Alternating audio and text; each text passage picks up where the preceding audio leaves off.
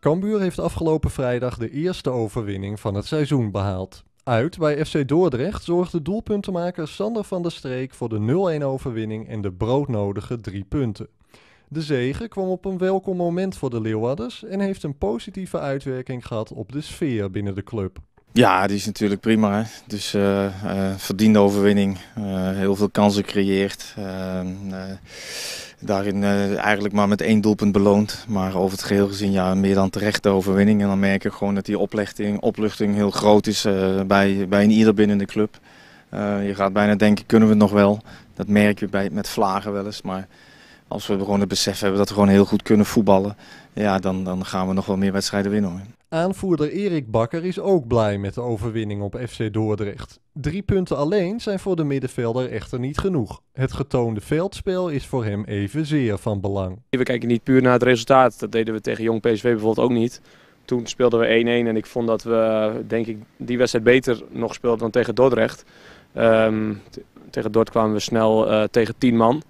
En uh, dat, dat moesten we wel beter uitspelen. Ja, ook al hebben we inderdaad wel weer genoeg kans gehad om, uh, om een grotere uitslag neer te zetten.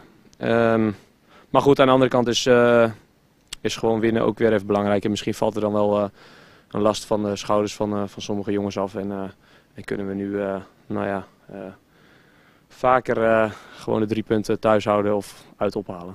Trainer Rob Maas probeert langzaamaan zijn aanvallende speelwijze in te slijpen bij het team.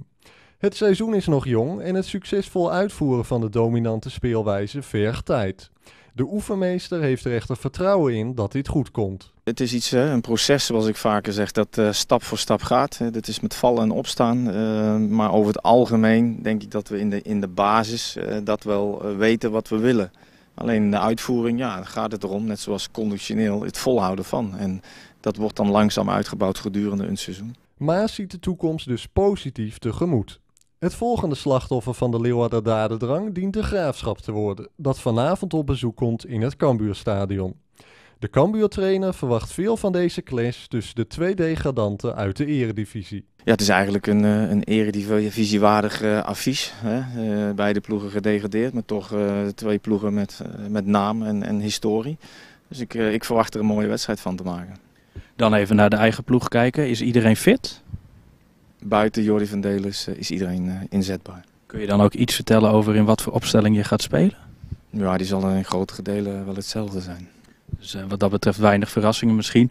Uh, in uh, in Dordrecht greep je nog wel in in de rust. Heb je Montero gewisseld en Hoefdraad kwam in zijn plaats. Was je daar in zijn geheel tevreden over hoe dat uiteindelijk werd opgepakt?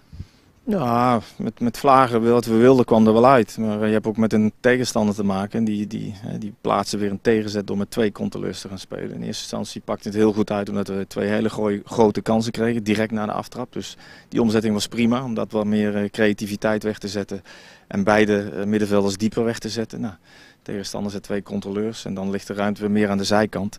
Voor de, voor de backs in samenwerking met, eh, met de buitenspelers. Ja. En dan is het een kwestie van uh, afmaken. En uh, dat hebben we eigenlijk ja, nagelaten. Maar we hebben in ieder geval wel weer kansen gecreëerd. En dat is, dat is prima. Cambuur en de Graafschap worden gerekend tot de kandidaten die dit seizoen de titel in de Jupiler League kunnen grijpen. Aanvoerder Bakker hoopt vanavond dan ook een eerste tik uit te delen aan de concurrent en tevens de offensieve spelopvatting van Cambuur goed naar voren te laten komen. We willen, wat we het hele seizoen al willen, we willen hoog druk zetten, we willen zelf bepalen op de helft van de tegenstander voetballen. En, uh, en weer de kansen creëren die we, die we afgelopen wedstrijden ook hebben gecreëerd. En uh, ja, dan moeten er wel, uh, wel wat meer in vliegen, dat wel.